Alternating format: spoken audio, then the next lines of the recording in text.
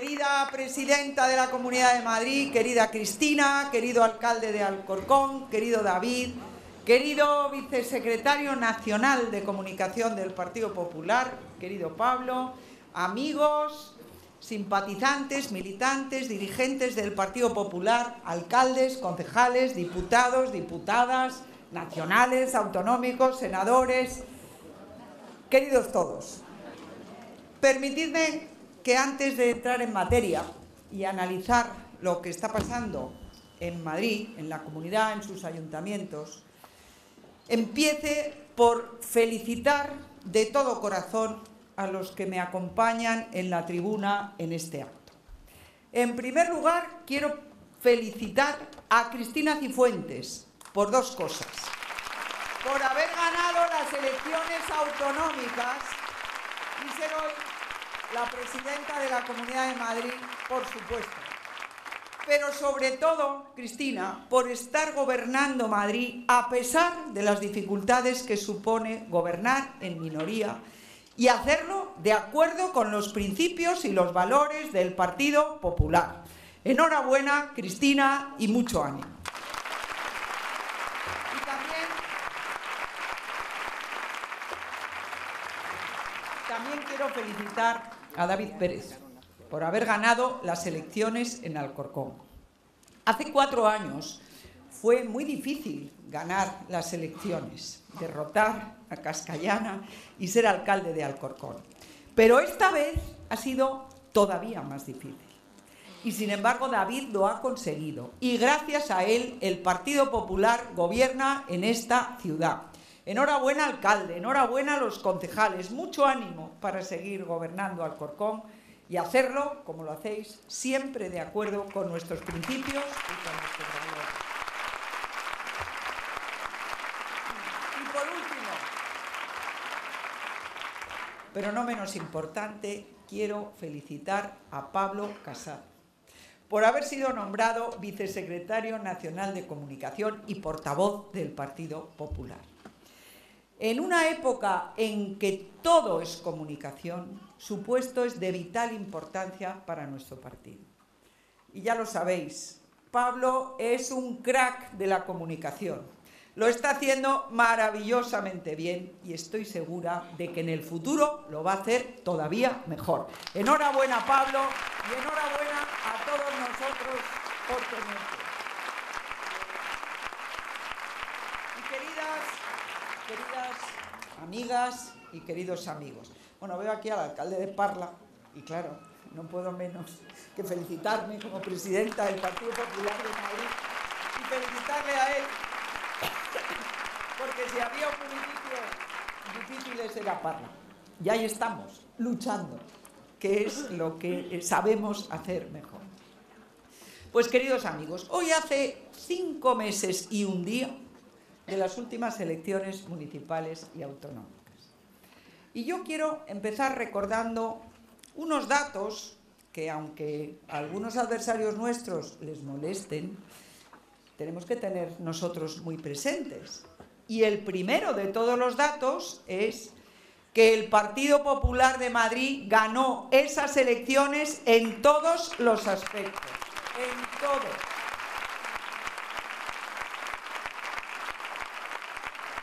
En las autonómicas, el Partido Popular fue la primera fuerza, por supuesto, y tuvimos casi 250.000 votos más que la segunda fuerza, que fueron los socialistas. Gracias a esos resultados, ya que en la Comunidad de Madrid no pudieron formar su coalición de perdedores, porque si hubieran podido, no dudamos ninguno que lo hubieran hecho, el Partido Popular gobierna en la Comunidad de Madrid con Cristina Cifuentes de presidenta y eso nos permite que el partido defienda los principios y los valores como lo hemos venido haciendo los anteriores presidentes autonómicos. Y como os decía hace un momento, Cristina lo está haciendo muy bien, a pesar de la dura oposición a la que tiene que hacer frente todos los días. Pero no es solo en las elecciones autonómicas. Yo quiero recordar también que en las elecciones municipales fuimos de largo el partido más votado en toda la Comunidad de Madrid. En el conjunto de los municipios de la comunidad tuvimos casi el doble de votos que la siguiente fuerza política, la segunda, que fueron los socialistas. Y gracias a esos resultados, hoy también tenemos casi el doble de concejales, el doble de número de concejales que los socialistas en los municipios de la Comunidad de Madrid. Y espero, querido David, que eso se traduzca en que mantengamos la Federación Madrileña de Municipios y Provincias. Es muy importante, es muy importante que estas cuestiones las dejemos muy claras, casi el doble de votos que el siguiente partido. Porque es verdad, es verdad que en las últimas elecciones eh, es verdad que hemos tenido un bajón importante. Pero también es verdad, y eso es lo que les molesta, que seguimos siendo el partido favorito de los madrileños. Seguimos siendo, y además con mucha diferencia, el partido del que los madrileños se fían más. Y sin embargo, después de las elecciones han proliferado esas coaliciones de perdedores de las que hablaba Pablo en muchos municipios de la Comunidad de Madrid. Unas coaliciones de perdedores que han tenido como único objetivo el de arrebatar las alcaldías a nuestro partido, que había sido el ganador. Excepción hecha de parla. Deben estar, en fin. Bueno, o sea, que lo que yo quiero decir es que en muchos municipios ha funcionado el todos contra el Partido Popular. Y sin embargo, a pesar de esas coaliciones de perdedores, el Partido Popular de Madrid tiene hoy 88 alcaldes en la comunidad. 88 de los 179 municipios de la comunidad tenemos 88 alcaldes. Y eso quiere decir que la mitad de los alcaldes de los municipios madrileños es del Partido Popular. Y esos datos hay que conocerlos y hay que recordarlos. Hemos bajado, sí, pero seguimos siendo la primera fuerza política de Madrid y además tenemos el doble de apoyos que la segunda. Y queridos amigos, yo os hablaba de las coaliciones de perdedores y todos sabéis perfectamente a lo que me refiero. Son esas coaliciones impulsadas y sostenidas sobre todo por los socialistas, que han tenido como único objetivo el que el Partido Popular no gobernara donde había ganado.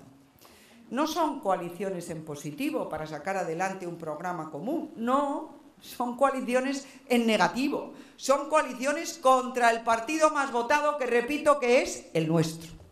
Son coaliciones para que no gobierne el Partido Popular y son coaliciones en el fondo contra los ciudadanos, cuya voluntad deja de respetarse. Y el máximo responsable de esas coaliciones de perdedores, de esas coaliciones negativas, ¿quién es? El Partido Socialista. Y el mejor ejemplo de ese tipo de coaliciones lo tenemos en el Ayuntamiento de Madrid.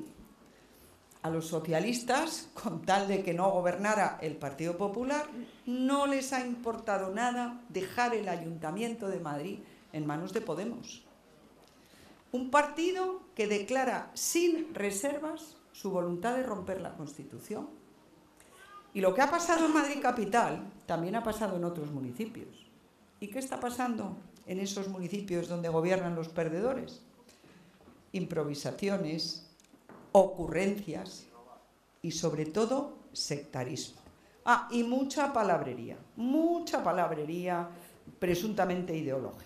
Improvisaciones porque como no tenían ni experiencia de gestión ni tenían un programa de verdad para Madrid, ya dicen que no, que el programa es un conjunto de sugerencias y tienen que improvisar sobre la marcha. Y el resultado es que los problemas reales de los ciudadanos quedan sin resolver. Y lo estamos viendo en Madrid, con la limpieza eh, clarísimamente en la ciudad o con la prometida reducción de los trámites burocráticos para los emprendedores, todo lo contrario. Y son solo dos ejemplos, porque pasan los meses y no se avanza nada. Y conste que nosotros en nuestra labor de oposición hemos sido escrupulosamente respetuosos y hemos aguardado los 100 días de cortesía para hacer públicas nuestras críticas. Yo creo que son asuntos que interesan a los ciudadanos y que además tienen la repercusión importantísima en la economía de la ciudad y en la creación de empleo, que es lo que a todos nos mueve. Y en eso no se ha avanzado nada. Por no hablar, queridas amigas y amigos, del tráfico y de los monumentales atascos que están produciéndose ante la impasibilidad de todo el equipo de gobierno y de la propia alcaldesa, que ni siquiera ha delegado eh, la fluidez del tráfico, la circulación en ningún concejal. Bueno, eh, en eso no han empezado todavía. Eh, ya, ya, ya, ya. Sí, eso, eso sí, eso es lo que están demandando. Yo oigo a los madrileños pedir, por favor, por favor, que se cambie esta calle. Oiga, mire, lo que están pidiendo los madrileños, que no se pongan pegas a los emprendedores, a los que quieren ampliar sus negocios, a los que los quieren crear nuevos. Bueno, pues ayer ya nos hemos enterado que el programa que la anterior corporación tenía para liberar de impuestos a todas las nuevas empresas durante dos años, aparentemente se lo van a cargar. Todavía no lo han hecho y todavía confío en que como hay tres grupos que tenemos mayoría en el Pleno, podamos revertirlo si es que el Partido Socialista está de acuerdo. Bueno, pues además de las eh, improvisaciones, el actual ayuntamiento nos sorprende también con sus ocurrencias. Aquí ha mencionado David algunas. ¿eh? Casi salimos a una ocurrencia por día. Son ocurrencias que no están pensadas y que la alcaldesa lanza sin encomendarse ni a Dios ni al diablo. Bueno, pues ya se ha dicho que las madres, curioso además, ella que se presenta como feminista, ¿eh? que solamente hablara de las madres, que las que tienen que limpiar los colegios los colegios de sus niños para ahorrarse una empresa de limpieza. Bueno, ya han salido las trabajadoras o trabajadores de las empresas de limpieza indignados de que se les quiera echar a la calle, o que los universitarios se dediquen a barrer, eh, o que se devuelvan los cascos de las botellas, como hacíamos hace muchos años. Bueno, el catálogo de las ocurrencias es inagotable. ¿eh? Ya hay quien las llama las carmenadas. ¿eh? Bueno, eh, es que tenemos una Carmena y dos Carmonas en el Ayuntamiento de Madrid, dos. El que ha levantado las terrazas del distrito de Salamanca también es Carmona. Bueno, y son ocurrencias porque no saben qué hacer, de verdad, con una de las ciudades más importantes del mundo. Bueno, y, y os decía que improvisaciones, ocurrencias y todo eso está rodeado de un constante sectarismo. Están gobernando, bueno, gobernando es un decir, están gobernando como si nadie hubiera hecho nada antes de que llegaran ellos, como si nadie tuviera nada que decir en la marcha de la ciudad, salvo ellos. Pero con todo, fijaros, con todo, lo que mejor caracteriza a esas coaliciones de perdedores, y en primer lugar a la que gobierna Madrid, es la cuestión de la mm, palabrería ideológica. Tienen el empeño en mi opinión, ridículo de demostrar, lo que quieren demostrar es que en la política española no ha habido bondad ni ha habido compasión hasta que han llegado ellos. Que a los políticos españoles nunca nos ha preocupado el problema de los desfavorecidos y que han tenido que venir ellos para que alguien les ayudara. Y por eso se inventaron dos problemas que ellos, mm, bueno, que son muy buenos analizando la, demoscopia que eh, pensaron que esos dos problemas iban a suscitar la lástima de todos los ciudadanos. Les daba lo mismo que fuera verdad o que no fuera verdad, no dejes que la verdad te estropee ¿eh? un, un buen problema que vaya a causar lástima. Les daba igual que hubiera ya soluciones para esos problemas, porque se trataba de conmover a los ciudadanos. ¿Y cómo no se iban a conmover? ¿Cómo no nos íbamos a conmover todos los madrileños si se les decía que había decenas de miles de niños que estaban pasando hambre en la ciudad de Madrid? Que había miles de desahucios al día que estaban llenando las calles de familias sin techo. Bueno, pues luego resultó que ni eran decenas de miles, sino unos pocos que ya estaban atendidos en sus casas, eh, que lo había dejado el anterior ayuntamiento preparado así, que recibían atención, y que además la recibían de una manera discreta para que nadie se enteraba de que la necesitaba.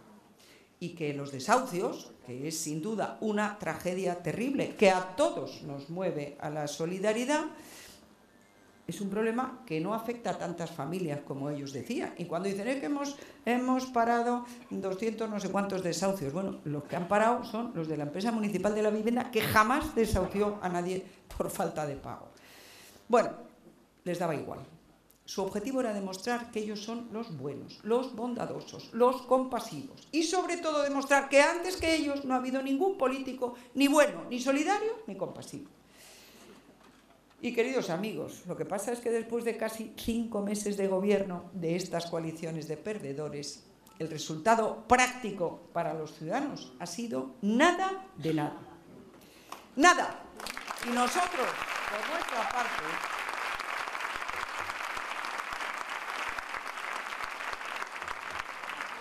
lo que estamos haciendo es cumplir la tarea de oposición que nos han encomendado los ciudadanos. Los ciudadanos que han votado al Partido Popular en casi 50.000 votos más que los que votaron a la señora Carmena. ¿Y nosotros qué hacemos? Denunciar todas las ocurrencias y las improvisaciones, dar todas las batallas ideológicas que se plantean, sobre todo la batalla de la conciencia social, porque no vamos a consentir que los que defienden políticas que han llevado a la ruina y a la pobreza a los países donde se han aplicado, vengan ahora a presentarse como apóstoles de las políticas sociales. No lo vamos a consentir. No lo vamos a consentir. Y el progreso, el progreso, el bienestar, el empleo y la prosperidad siempre la han traído las políticas liberal conservadoras del Partido Popular. Siempre, siempre. Y el estado del bienestar, quien lo hace sostenible, es siempre el Partido Popular. Y si es así, y yo lo siento por los demagogos y por los populistas, pero ellos nunca han traído nada positivo para España, nunca. Con la izquierda siempre tenemos recesión y paro. Eso es algo que no falla. Paro y recesión. Y amigas y amigos, los de Podemos pueden ser lo peor de lo peor. No hay más que contemplar cómo están los países donde se han aplicado sus recetas. Ahí está Venezuela. Y el que tenga ojos para ver, que vea. Pero queridos amigos, yo no solo quiero hablaros del balance de estos meses, también quiero llamaros a la movilización ante las elecciones generales de diciembre, porque van a ser unas elecciones trascendentales para España y para los españoles, y nuestro partido tiene que ganarlas, porque somos la única garantía seria frente al populismo, a la demagogia y al oportunismo. Y España y los españoles tenemos unas tareas muy importantes por delante, muy importantes y apasionantes. Y nuestro partido es sin duda el que mejor puede afrontarlas. ¿Y cuáles son esas tareas? Pues en primer lugar, tenemos que recuperar la confianza de los ciudadanos en la política y en los políticos. Y eso lo tenemos que recuperar con reformas valientes y generosas. En segundo lugar, tenemos que afianzar la recuperación económica. De la crisis estamos saliendo a base de muchos sacrificios de todos y cada uno de los españoles. Pero todo se puede ir por la borda si lo conseguido hasta ahora cae en las manos irresponsables de alguna de las coaliciones de perdedores. Y son manos irresponsables las de los socialistas, que como se ha dicho aquí muy bien, están dispuestos a hacer coalición con cualquiera con tal de que no gobernemos nosotros. Pues bien, queridas amigas y amigos, como veis, las tareas que tenemos por delante de aquí a las elecciones del día 20 de diciembre son difíciles, pero son apasionantes. Y vamos a tener que trabajar duro en estos dos próximos meses. Pero yo os digo que va a merecer la pena. Estamos viviendo momentos difíciles, difíciles. Claro que sí. Difíciles para todos los españoles. Y la responsabilidad del Partido Popular es ofrecer soluciones y propuestas atractivas e ilusionantes para todos. Y eso es lo que vamos a hacer en el Partido Popular de Madrid. Y para eso contamos con todos vosotros, con vuestra capacidad de trabajo y de entrega. Eso es lo que yo os pido porque de verdad las elecciones del próximo día 20 son importantísimas. Y ya sabéis cuál es nuestro lema cuando hay elecciones. pico y.